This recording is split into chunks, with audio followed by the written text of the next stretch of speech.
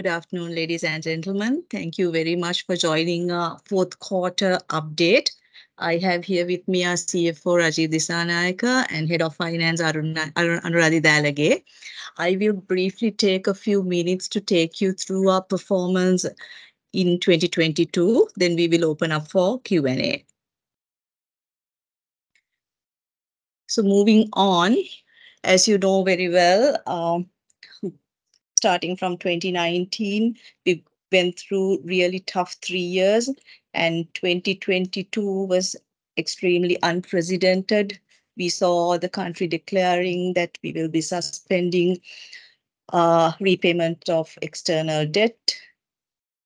Exchange rate went up significantly. The currency got devalued. Uh, with that, we saw inflation going up and peaking at around 70%. And in order to combat that, uh, the policy rates were increased, and the market added a significant premium on the rates. And as you can see in this uh, graph onto your left side, uh, you can see how the PLR has moved since April last year, touching 30% mm-hmm. levels towards the end of the year. The interest income increase of over 100% that you see is mainly as a result of this increase in uh, interest rates. With rates going up on one side, the bank adopted a very cautious approach towards lending. Uh, you may see that our loan book has grown by about 14%, But if you take the exchange, if you take the exchange impact out, Uh, it's about a 6% growth uh, in our loan book. So similarly, we saw that interest expenses also going up with our bank deposits growing by about 30%-31% in 2022. So Here our LKR deposit base itself grew by about 23%. As similar to the Uh, trend that we saw right across the industry, we saw movement from CASA into FDs. But with our business model, with our with our proactive ALM uh, management, we've been able to improve our margins and record one of the highest teams in the industry, and we've seen it increasing by over 300 basis points during the year. Moving on to fee-based income. Uh, our net fee income increased by about 54%. This was driven through increased card volumes, uh, trade trade income, uh, partly through digital channels where we saw adoption rates improving with our digital products, with our new digital products. As you know, with the currency devaluation, with our positions getting revalued, exchange income increased from 5.8 billion in 2021 to 19 billion. And Also we've seen a strong growth in insurance premium coming from our subsidiary, HNB Assurance, with a growth of about 20%. And as a result, our total operating income almost doubled, growing by about 90% during the year. So this growth in total income, which came through uh, NII and other income, about 60% of that was taken away by the high impairments. Out of a 91 92 billion in total impairment, 59 billion was on account of our investments in foreign currency denominated uh, investments in government securities. That's because we increased our uh, impairment on these investments up to 35% for the year. Uh, so with rates going up, uh, taking into account the economic factors, elevated risk, we have increased our impairment on loans and loans and advances as well. So we've seen a growth increase of about 160% in our impairments on loans as well. Despite that, you will see that our Stage 3 ratio and our provision cover on Stage 3 loans remain at the remain as one of the best among our peers. So if you look at our operating expenses, you see that overall operating expenses have increased by about 33, 34%. Uh, but this is with this growth is coming because in 2021, uh, HNB uh, reversed its provisions on uh, pension fund as the uh, retirement age increased from 55 to 60. So if you take this uh, adjustment out, uh, increase in operating expenses was only 22%. And similarly, the increase in operating expenses, you see a 35% increase adjusted for this uh, pension fund uh, reversal, it would be 16%. Uh, so despite operating expenses increasing by about 33% here, as our TOI, as I said earlier, almost doubled, uh, cost to income improved significantly to 22%. Mm, if you look at taxation, so there were factors uh, in terms of financial VAT going up from 15 to 18%. Corporate tax went up from 24 to 30%. Uh, Social Security contribution levy was introduced.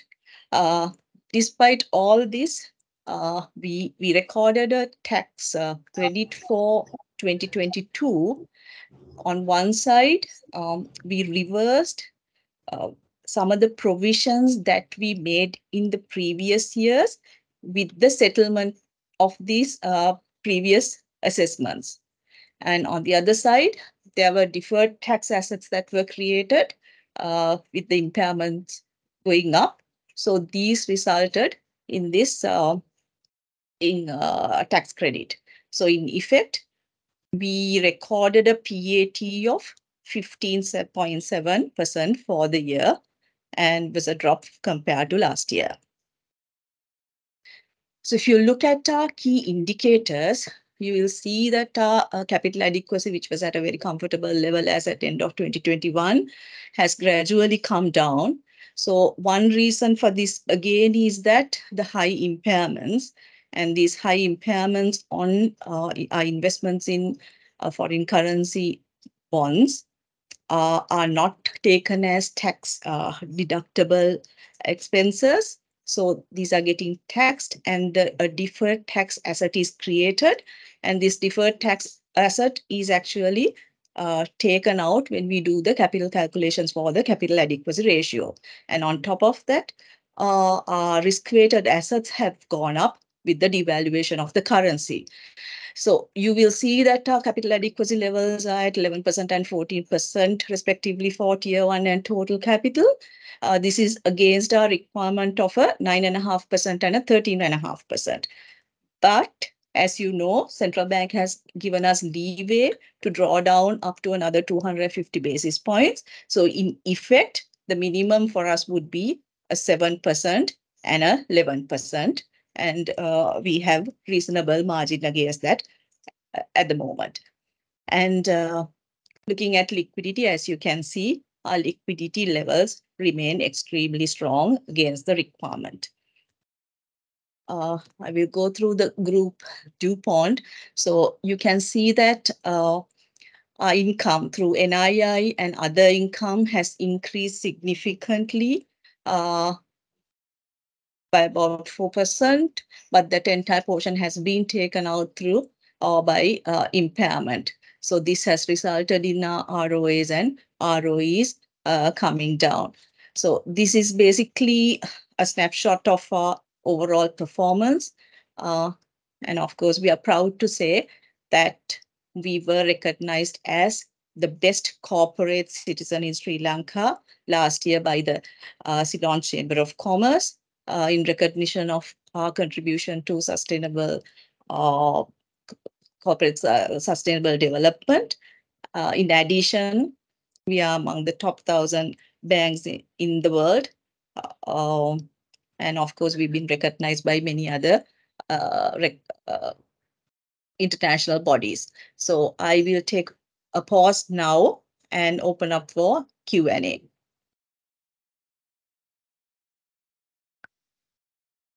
Thanks, Priyanka, for that presentation. Hi, I'm Rajiv here. I think we have got a question in terms of uh, the effective tax rate for next year. Well, I think uh, we'll have to go with the current uh, tax rates that are applicable. So you have corporate taxes at 30%, you have financial VAT at 18, you have social contribution levy at 2.5. So taking all into account, uh, it needs to be somewhere close to 50% is what we feel. Of course, there can be various differences in the way it's accounted and uh, the and if there are any tax reversals that happen. But generally, looking at the tax rates, you would expect the effective rate to be close to 50%.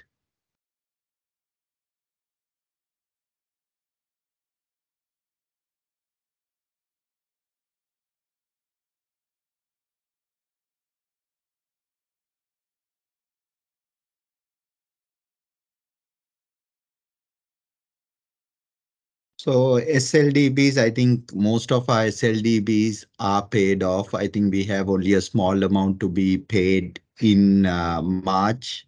Uh, so all of our SLDBs, either we have got paid in rupees or by uh, issuance of T-bonds. And even for the one that is maturing in March, Uh, we probably will take the option if it is available of taking rupees. Uh, but of course, the final decision will be made only at the time of it being announced.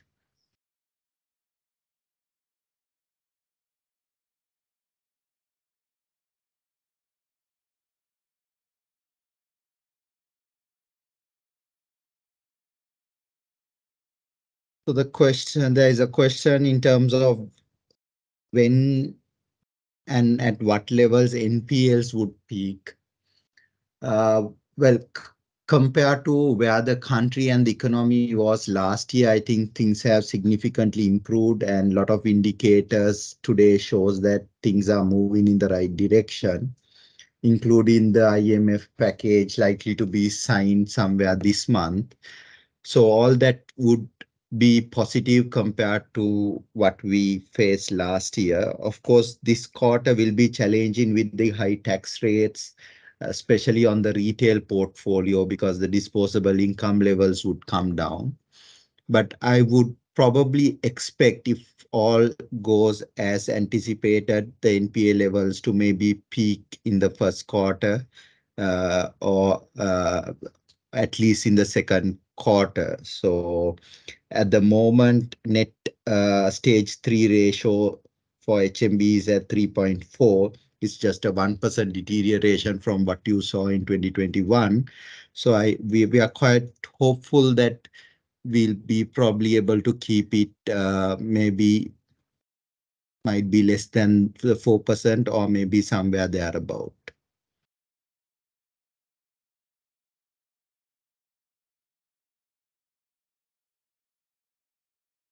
So, uh, most of the impairments now we have, uh, in terms of our financial assets are for ISBs, because as I mentioned earlier, most of our SLDBs have matured, apart from a smaller amount.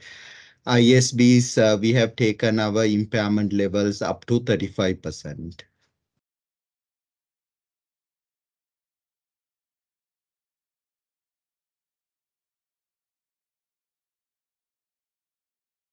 So a question on NIMs. Um, eventually, NIMs should come down to levels that we probably have seen, uh, in the past, not as low as 2 to 3%. I don't think we ever had our NIMs as low as 2%-3%, because we, uh, I think HNB, even in the past, has probably had NIMS slightly higher than the industry.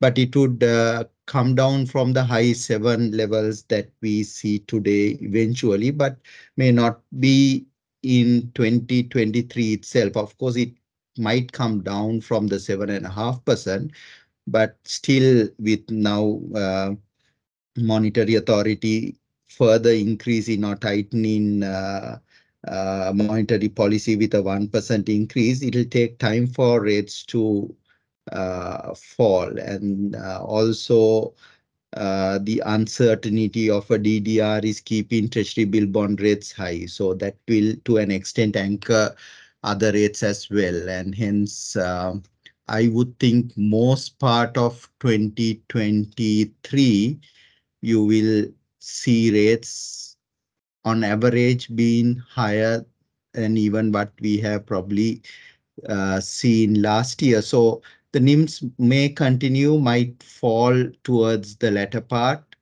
uh, but uh, might not be overall as high as 7.5%. Uh, but it'll take time for it to come down to maybe the 4%-5% levels that we have seen before the crisis.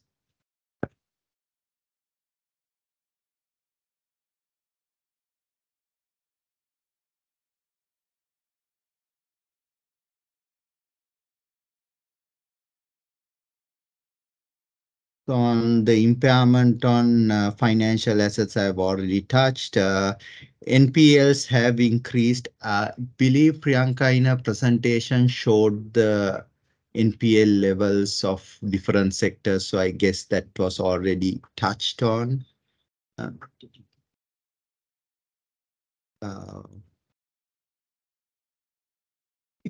so fixed to floating rate loans, I would say that most of our loans either will get repriced or will mature. Uh, let's say around 70 to 80% of our loans will either reprice or mature within a period of one year. Uh, so so the the so the the fixed to floating would be somewhere in the range of 70 to 80% on the floating.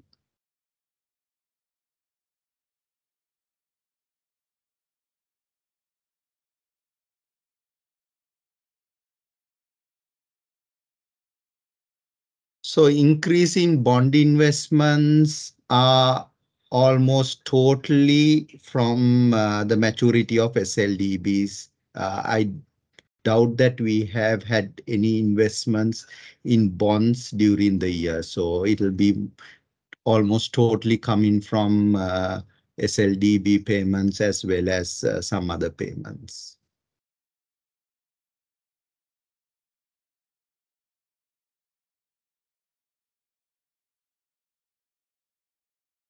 So fees have increased as a combination of price as well as volumes. Uh, credit card fees have increased mainly because of volumes have increased substantially compared to 20 and 2021.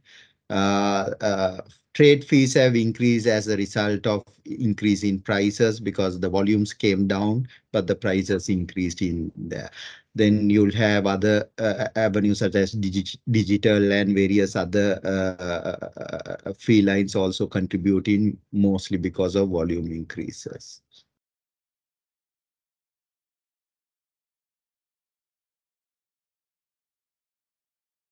So the NOP NOP is managed quite aggressively. So uh, what happens is most of the export conversions anyway, at the moment, demand for import or demand for dollars for imports is less. So most of the exports that get converted and remittances that get converted will go into covering in the NOP. So uh, we are more or less uh, squared on the NOP position. At the moment, we probably might run a small negative NOP position to benefit from the rupee uh, appreciating, but uh, all the uh, SLDB conversions have already been covered.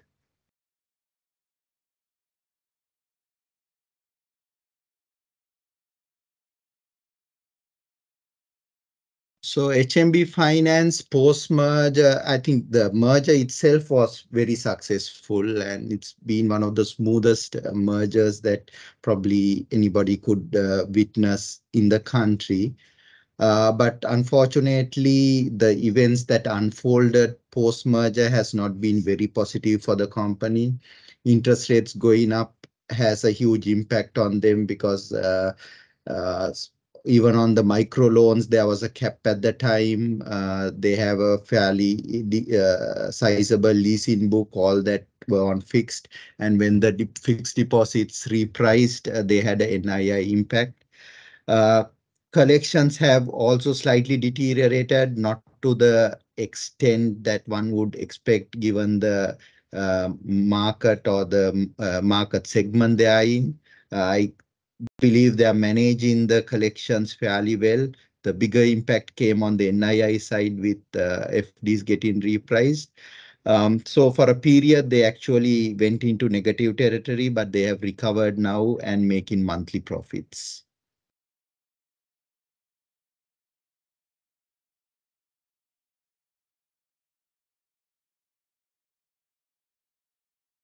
So ISB exposure is in the range of $550 million. I guess that will be there in the annual report.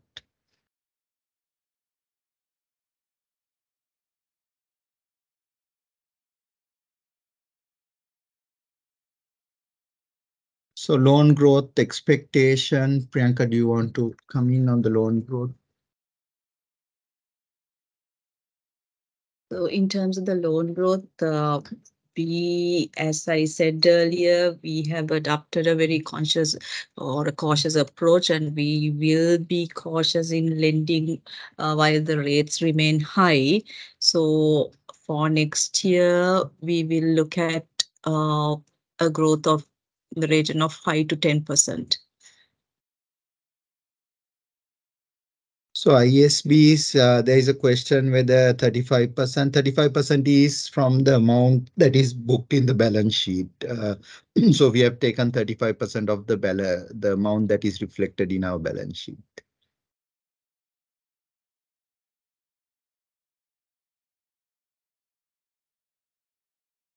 So the question on how high it can go will depend on how things will unfold over the next uh, few months, I believe. Hopefully, we are all hopeful that it's going to be a reversal and not an increase from here on.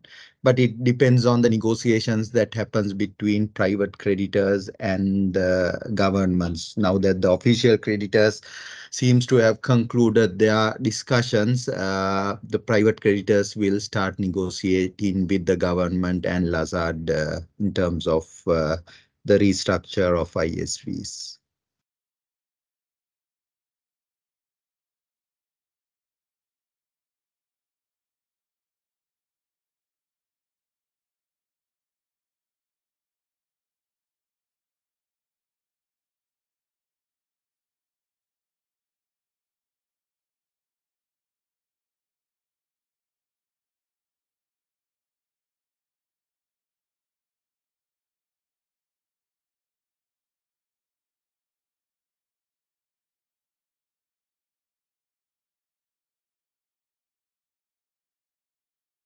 There's a question on whether there will be raising of Tier 1, Tier 2 capital. Um, again, I think Priyanka mentioned in her presentation that uh, our capital levels are compared to mm, uh, considering that there is a 2.5% that we can draw down. Uh, we have a fairly decent margin there. Of course, if there is, and if the if the bank believes, and if the shareholders are willing to uh, participate, we could always consider. But at the moment, there are no plans as such. Uh, on the Tier 2, uh, we believe the rates are too high to immediately go on for a Tier 2 raising. But if the rates come down adequately, then we would consider a Tier 2 raising, but not immediately.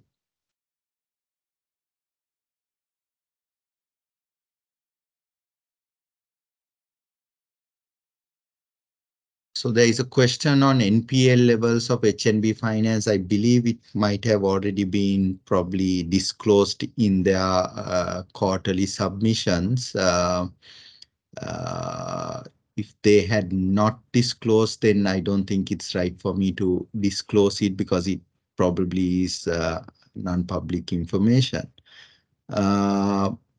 Then, so the moratorium, I I don't think there is too much of moratorium loans in HNB Finance, but I wouldn't have the numbers with me right now in front of me to uh, give you that.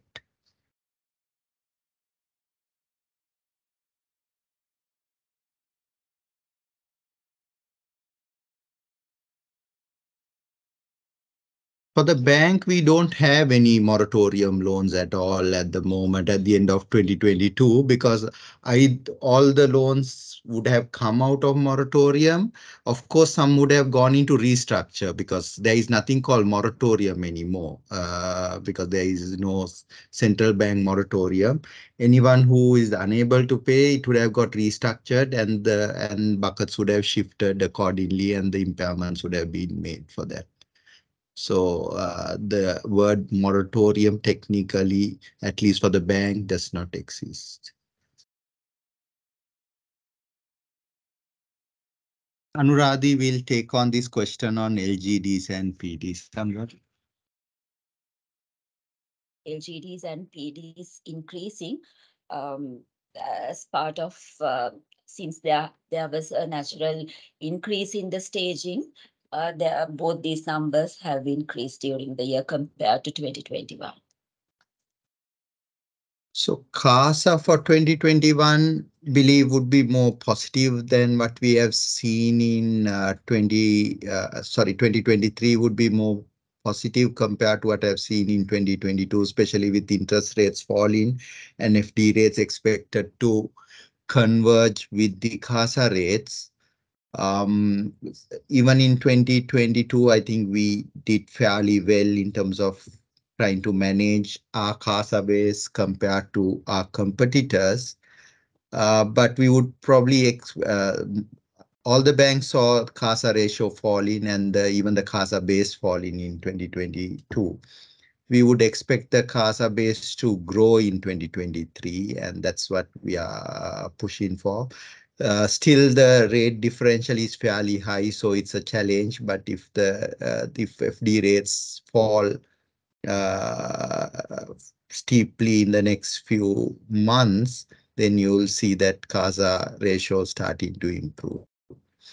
Uh, so it's it's it's an interest rate play. It's difficult to say. I can only say that it'll be more positive than 2022, but whether it'll actually grow uh, will depend on how soon the FD rates fall.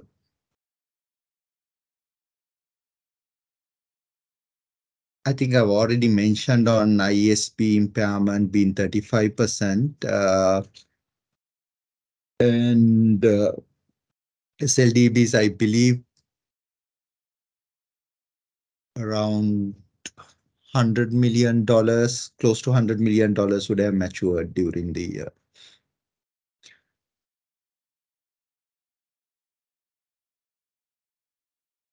So the trading income is the uh, revaluation of our uh, off-balance sheet contracts, the swaps and the forwards based on the uh, exchange rate movement. So that's the 4.9 billion with rupee moving from 200 to 369. All the off-balance sheet contracts getting revalued. So that's that's the 4.9 billion uh, trading income that's shown in the PNL. So we have close to about uh, accumulated profits in our FCBU of about close to 100 million uh, dollars. Are there any further questions?